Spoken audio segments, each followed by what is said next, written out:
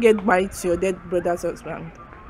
Um, no, I can't. I can't get married to my dead husband's brother because I'd, I'd call that incest because it's really part of my family. So me getting married to him is rubbish. I don't think I can ever. It's about my dead body. If my husband dies, I prefer getting married to someone else outside I getting married to his younger brother, elder brother. Thank you.